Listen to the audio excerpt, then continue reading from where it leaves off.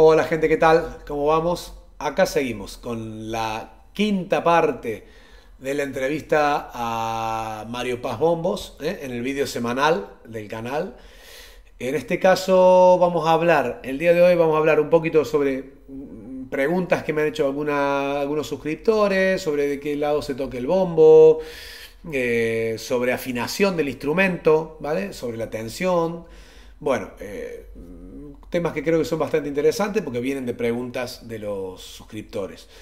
Eh, ya saben, si quieren se suscriben, pueden ver todas las entrevistas anteriores y la de hoy. La que viene será la última y ya seguiremos con contenido de otros tipos. Ejercicios de batería, habrán ejercicios de técnica, hablaremos de varias cosas.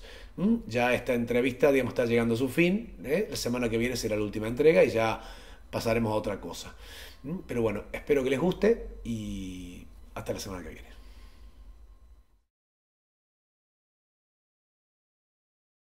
Bueno, aquí vamos a ver. A ver, esto, esto es una, una pregunta que alguien me dice, una, persona hace seis meses me dice, eh, digamos, de alguna manera me dice, perdón por la ignorancia, ¿no? y por la pregunta que va a hacer, pero a mí, yo no soy muy de estas cosas, ¿no? A mí me, gusta que, o sea, cualquiera que haga una pregunta es por algo y, digamos, la, duda de uno puede ser la duda de, muchos, ¿no? Aunque nadie se atreva a preguntar, ¿no? Esta este persona me pregunta, eh, ¿de qué lado se toca el bombo? A ver, yo le dije, evidentemente, para mí la respuesta básicamente es, digamos, del lado que más te guste el parche que tiene y eso, pero eh, supongo yo que es, digamos, sería la respuesta estándar básicamente, o si ustedes tienen alguna, ustedes recomiendan más tocar de un lado que del otro, o, no, o básicamente es lo que yo he respondido, ¿no? Que directamente tocar del lado del parche que más te guste. O sea, si, te gusta la cabra, golpea de la cabra, si te gusta de la oveja, golpea de la oveja, ¿no?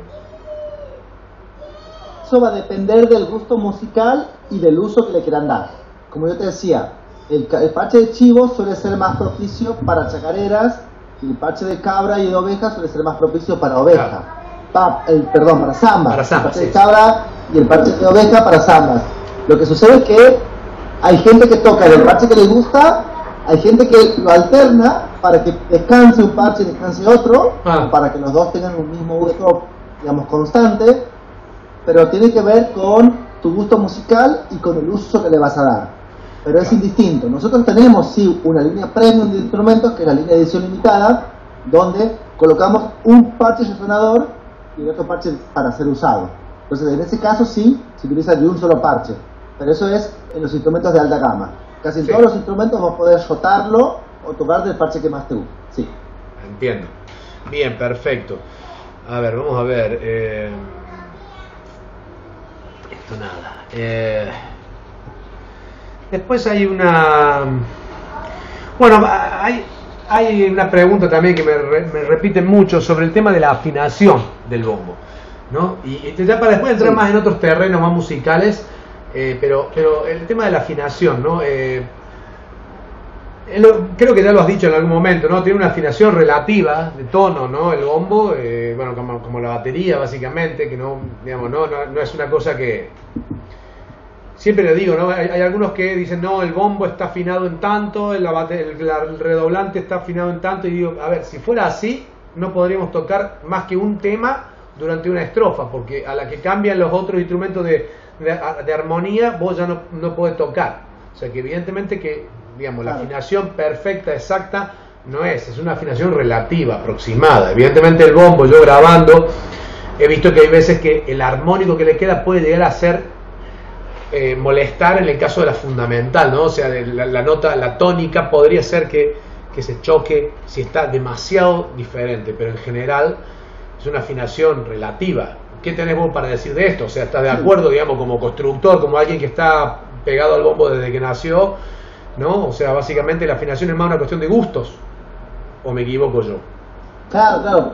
Eh, como te decía al principio, el bombo no tiene una afinación, sino tiene una tensión. La tensión, lo ideal es llegar a una tensión media. La tensión es, bajando todos los tensores a la misma altura. Sí, sí. Lo ideal, ¿sabes qué es, Pablo? Antes de empezar a tensar, darle un par de golpecitos a ver cómo está el bombo. En, su estado cero. porque como te decía al principio, como está determinado por los niveles de humedad, por el clima, por cuánto lo vengas usando, porque el parche se va a ir amoldando a tu golpe, a tu uso. Claro. Mucha gente nos dice, Claro. mi bombo suena mucho mejor ahora que tiene tres años a que, a que lo compré. Seguro. Seguramente suena mejor porque el parche se ha sentado. Pero ¿sabes qué también sucede? Uno genera un vínculo con el instrumento. Ya. Uno lo quiere el instrumento. Y cuando alguien quiere algo o alguien, Mm. lo ve o lo escucha más lindo. No, seguro. Sucede eso. Pero de una. De En una. caso, por ejemplo, si el instrumento es una herramienta de trabajo, te ayuda para la olla, como decimos aquí, eh, aquí en Argentina. ¿entiendes? Entonces, eso ya tiene otro valor más. Si además es herramienta de trabajo, te ayuda a viajar, te ayuda a conocer gente, te ayuda a hacer puente, como me decías con, el- con- con- con la cantora de, de Cataluña, catalana con la que tocabas, que descubrió el bombo y que Sí. generaste otro puente musical a través Sí, del instrumento sí. con ella. Todos esos vínculos hacen al, al- al- al instrumento, pero como- volvamos a, a lo de la afinación, a lo de la tensión. Lo ideal siempre es buscar el punto medio. El punto medio es como te gusta a vos como suena. Si vos tensás de más, el parche se pone muy tirante y pierde graves, pierde ese sonido legüero. Por eso hay que buscarle un punto medio donde a vos te guste. Por lo general, no hay que pasar de la mitad. Esto sería como un máximo. Cuando se pasa de la mitad es porque ya necesita la tensión Tensión general. del- de- de- Ya necesita recuperar todo este, todo, Sí, sí. lo que se ha aflojado, la, la- la tensión que da la vuelta. Entonces, Sí, sí, sí. La afinación o tensión tiene que ver con tu gusto musical, cómo querés controlar ese sustain, cómo querés que acompañe si está en un set, si toca solo, si lo tenés a la par de una batería, Claro. cómo está el instrumento en tu set musical y después básicamente cómo te gusta a vos cómo suena. Claro. Pero como saber cómo te gusta cómo suena también es un aprendizaje, en todo ese primer año que uno tiene un bombo, va generando el vínculo. Por eso el bombo hay que tocarlo. Claro. Solamente tocándolo lo vas a conocer. Claro, claro. Solamente tocándolo vas a descubrir. Siempre, siempre vamos a Solamente esto. tocándolo ¿no? vas a encontrar esos matices. ¿Entiendes?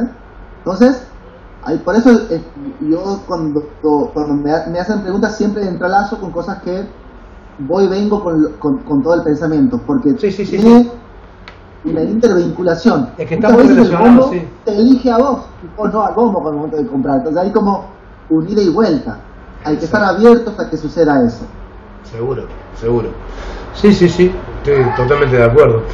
Pues, eh, bueno, Entonces, eh, t- La también. tensión tiene que ser un punto medio donde a vos te sirva y donde no le sobreexijas al bombo. Porque si tensás de más, el parche se pone muy tirante y se pone agudo. Entonces, Claro. buscarle ese punto medio donde haga, o donde suene armónicamente y te sirva para lo que vos querés tocar. Claro, está bien. Sí, después